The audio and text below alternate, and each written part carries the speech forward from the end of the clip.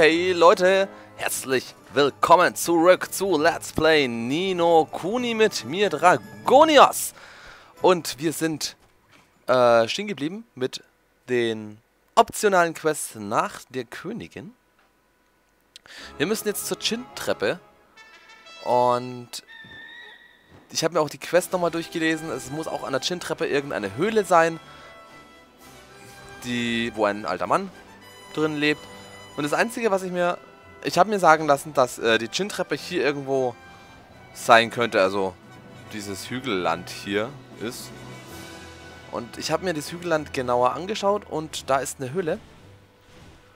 Also gucken wir mal rein, ob das die Chin-Treppe... Und da ist auf jeden Fall ein Monster, was wir besiegen. Und das... Ja, das ist die Chin-Treppe. Definitiv ist das die Chin-Treppe. Denn dieser Gold-Golem, schieß mich, tot, ist hier auf jeden Fall. So, ich rede zuerst den alten Mann an. Nicht, dass es heißt, du hast die Quest nicht geschafft, weil du die Kisten aufgemacht hast. Ein Besucher. Ja, wir bekommen hier draußen nicht sehr oft Besuch. Nein, nein, nein, gar nicht oft. Wenn überhaupt. Oh, was sehe ich denn da? Ein Kessel. Haha, der Junge ist ein Zauberer. Buch vom Zauberjungen, äh, Besuch vom Zauberjungen. Hm, Sie wissen etwas über den Kessel?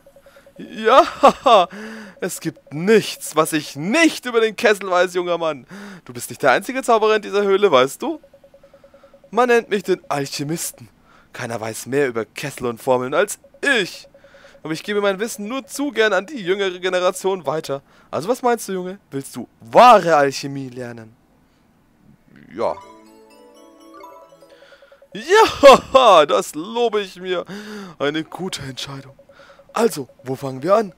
Ach ja, die Herstellung einer Axt des Kriegsgotts wäre wohl genau das Richtige für ein Kind. Kinder lieben Äxte, nicht wahr? Ne Axt des Kriegsgotts klingt dufte da mal los. Was müssen wir tun? Nun, zuallererst musst du dir eine Dämonenaxt alchemisieren. Verflucht nur eins, das klingt auch schon nicht schlecht. Ja, dazu brauchst du eine Großaxt, einige schwarze Flügel und den ein oder anderen Schnauzerstein. Was genau die Mengen angeht, da wirst du einfach ein bisschen experimentieren müssen. Was? Du hast doch gesagt, du würdest uns beibringen. Hast du wohl Besseres zu tun, oder wie? Ja! Früher oder später muss jeder Zauberer lernen, selbst nachzudenken. Verstanden. Ich werde eine Dämonenaxt herstellen. Sie werden schon sehen. Ja! Du hast Schneid, Junge. Und das ist die wichtigste Zutat einer jeden Formel. Okay, wir brauchen also eine Dämonenaxt. Aber zuvor öffnen wir die Kisten. Einen äh, Sternentunika. Und eine blaue Schatztruhe ist da natürlich auch noch. Plopp. Eine Widerstandsmedaille. Okay. Gut, ähm, für die Dämonenaxt brauchen wir eine Großaxt. Haben wir sowas? Eisenaxt, Axt des Wächters. Ähm, was ist das hier? Das ist eine Großaxt, genau. Jetzt muss ich nochmal fragen, was wir alles brauchen. Ich glaube, schwarze Flügel brauchen wir noch. Äh, schwarze Flügel und Schnauzerstein. Haben wir Schnauzerstein und schwarze Flügel? Äh, haben wir das überhaupt schon Dämonenaxt, ja, haben wir hier schon. Schwarze Flügel 2 und Schnauzersteine 3. Wir haben keines von beiden. Ja, schön. Das heißt, wir müssen erstmal rausfinden, wo wir die kriegen. Ähm. Äxte, Äxte, Äxte. Waffen, Äxte. Dämonenaxt. Zwei Paar schwarze Flügel, drei Schnauzersteine. Ähm. Ja, ich habe aber keine Ahnung, wo es die gibt. Äh, Proviant? Können wir das schauen? Grüne Trauben, Glüh Glühgarnelen. Ähm, schwarzer Flügel, hallo.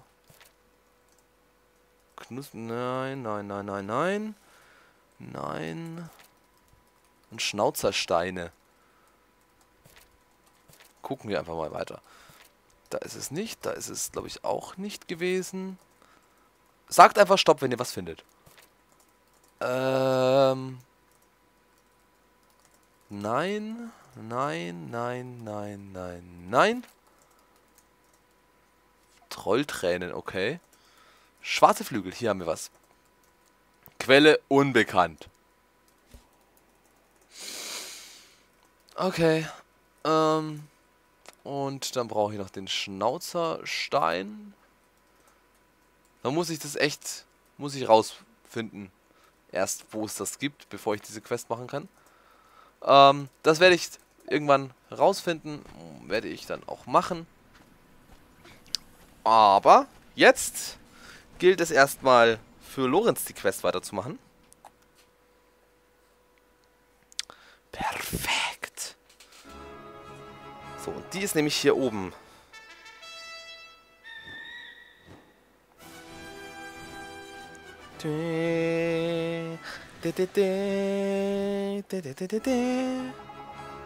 Das ist ein Goldgolymp. Verflixt, der hat Arme so dick wie Baumstämme. Komm schon, Tröpfchen, wir können ihn schlagen, das weiß ich einfach. Ja, klar. Mist, das wird schon schief gehen.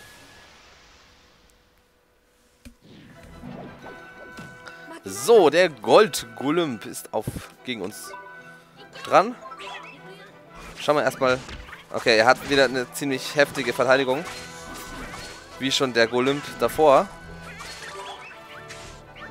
Oh, Gold ist jetzt nicht ganz so cool. So, perfekt. Gut gemacht, Lilly. Er wird gleich wieder Abtreibung einsetzen. Das weiß ich. So, okay. Lilly macht einfach weiterhin Schaden. Das ist vollkommen in Ordnung. Ist okay. So, da der aber eine ziemlich heftige Verteidigung hat, werde ich hier Gewitter mal ausprobieren. Das haben wir noch nicht gesehen. Bam! Und es ist sogar sehr effektiv. Dann werde ich hier mit Gewitter weitermachen. Gewitter kostet nicht mal so viel Mana für das, was es an Schaden anrichtet. Sehr schön. Daneben, wenn ich mich nicht die ganze Zeit buffen würde. So. Und es ist echt schnell gecastet. Es ist einfach so, zack. Wir zaubern uns ein Gewitter in der Wüste. Wer will das nicht können? Noch einmal Gewitter.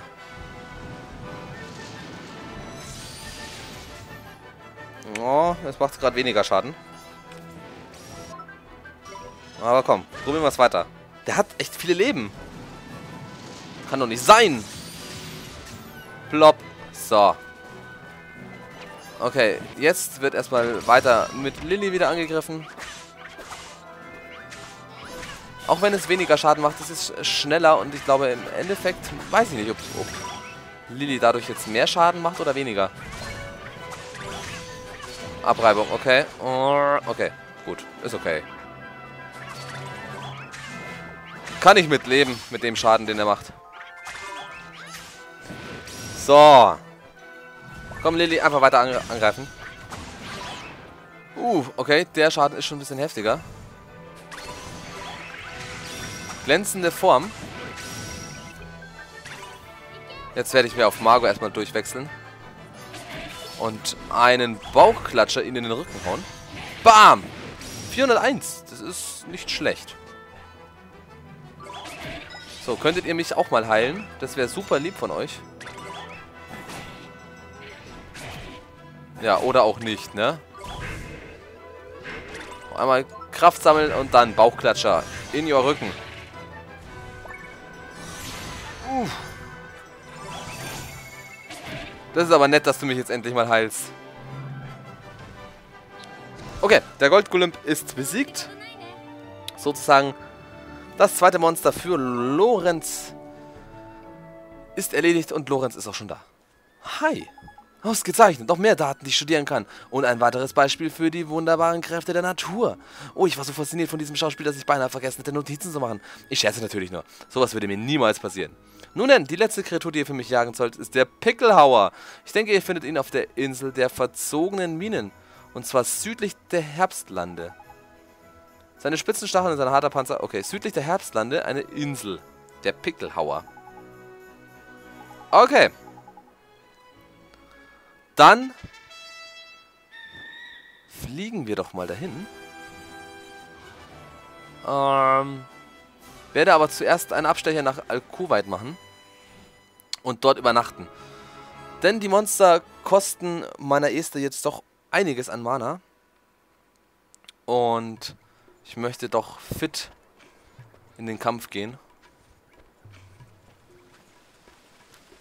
Dann haben wir auch schon die zweite Sidequest sozusagen gemacht. Die Alchemie-Sidequest wird nicht ganz so einfach werden. Ja.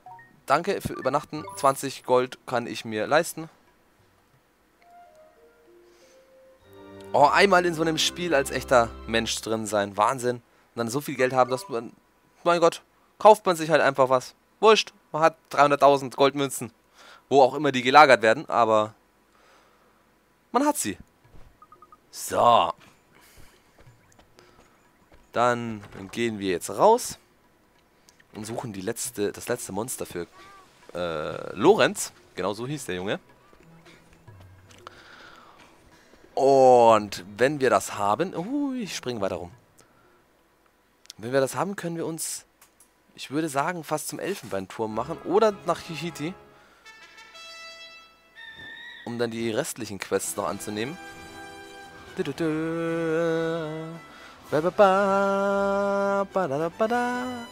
Und ich muss herausfinden, wo es schwarze Flügel und diesen anderen Stein gibt. Ähm ja, die einzige Insel, die südlich ist, ist diese hier.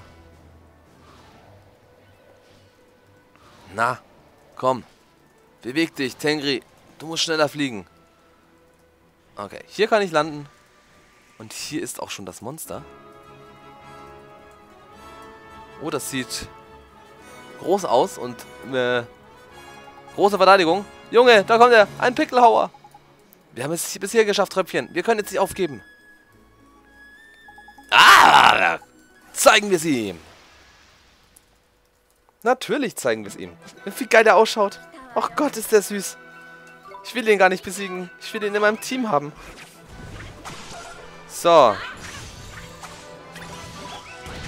Ähm, ich mache normalen Schaden an ihm. Von daher jetzt nicht so das Problem. Er kriegt auch echt viel Schaden. Lilly heilt sich ziemlich gut. Boah, eigentlich echt nicht so das wilde Problem. So, okay, wir werden jetzt langsam gebufft von Esther. Lilly heilt sich hoch. Den Schaden. Ey, der ist fast tot. Mein Gott. Das soll das schwerste Monster gewesen sein. Da war der Golem schwerer. So, Magor. Bauchklatscher.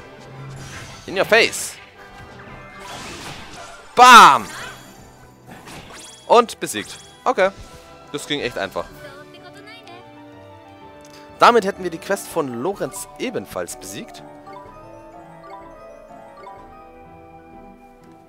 Und wir quatschen ihn mal gleich an. So, eine beeindruckende Leistung. Ich wusste, ich habe die richtige Wahl getroffen, als ich euch mit diesem Forschungsprojekt beauftragte. Oh, danke. Sie haben also alle Ihre Daten? Absolut. Vielen Dank, junger Mann. Die Daten, die ihr für mich beschafft habt, werden die Naturwissenschaften revolutionieren. Äh, das klingt ja prima. Viel Glück noch bei Ihren Forschungen, Herr Lorenz. Glück hat damit nichts zu tun. Oh, hier ist ein kleines Dankeschön. Ich bin mir sicher, dass dies eine angemessene Entlohnung für eure Mühen darstellt. Ein Knollkopf-Ticket, ein Mystikos-Ticket und ein Dinoceros-Ticket. Dinoceros habe ich schon. Knollkopf und Mystikus, okay. Warum nicht? Die Stempel sind mir wichtiger. Jetzt muss ich zurück nach Katzbuckel und meine Daten auswerten. Und schon ist er weg. Jawohl. So macht man das. Ähm... Jetzt ist die Frage, wohin als nächstes? Wir sind jetzt hier, wir können ganz kurz nach Hihiti fliegen um dort die nächste Quest sozusagen anzunehmen. Die nächste Sidequest, damit wir wenigstens wissen, was wir machen müssen. So, gehen wir rein in den Feenforst. Und dort muss irgendwo eine Quest sein. Hier nicht. Ist die hinten bei Mama? Du, du, du. So. Auf geht's. Lauf. Schneller. Hier irgendwo? Jetzt lass mich mal ganz kurz gucken. Ähm, geh zum Goldhain und rede mit der... F Ach, Goldhain, nicht Chihiti. Mm. Ähm, okay. Das heißt, wir reisen jetzt erstmal in den Goldhain oder Laguna. Laguna können wir auch schnell machen. Genau, Laguna machen wir mal. Und schauen, was wir hier für eine Quest kriegen.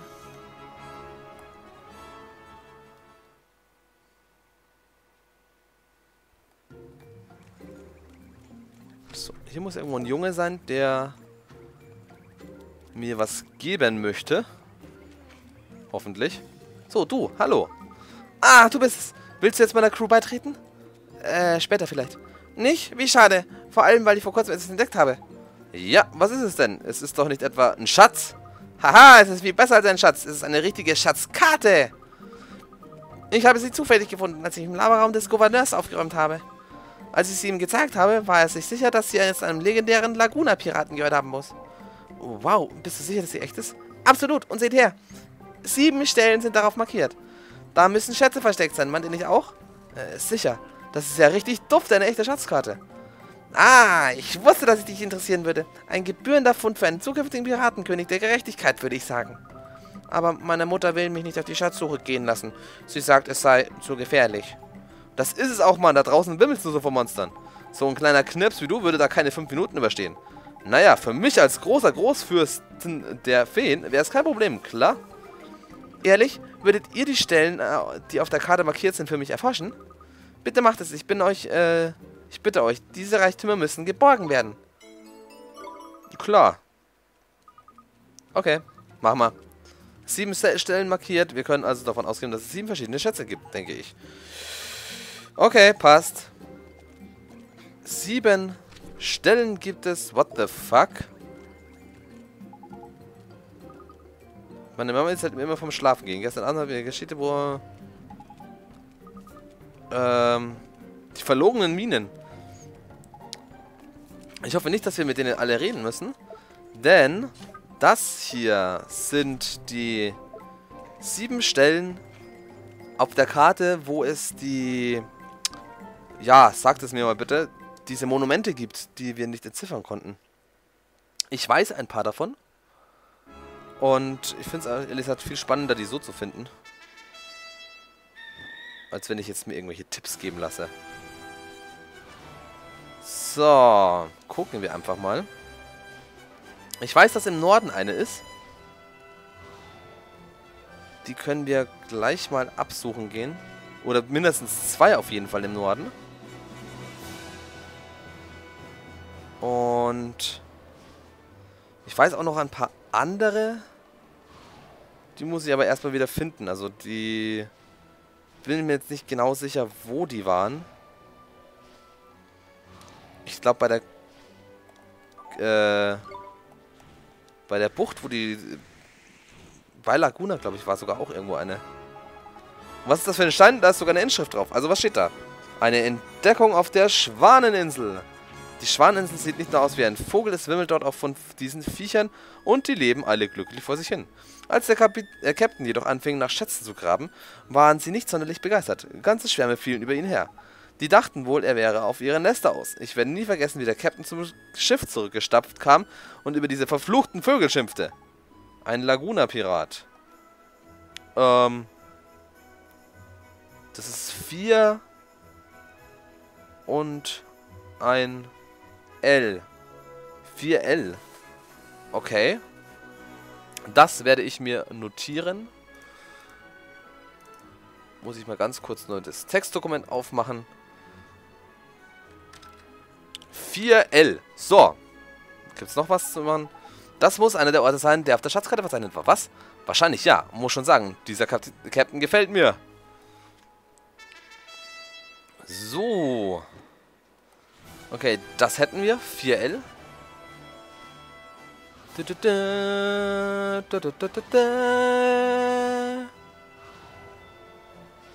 Ähm, gucken wir mal ganz kurz noch da entlang. Da war nämlich noch ein Monument. Das kann ich auch noch abgreifen. Noch ein Monument. Äh, wird da nicht schlau draus. Das ist aber seltsam. Gut, Leute. Ich werde mich da mal ein bisschen schlau machen. Wie gesagt, mit der, mit der Dämonenaxt. Und auch mit den Monumenten, was wir dafür machen müssen. Das war es erstmal mit Let's Play Nino Kuni für heute. Morgen werdet ihr dann vielleicht schon ein bisschen weiter sein mit diesen ganzen Quests. Und ich werde hier beenden. Viel Spaß, bis morgen. Ciao.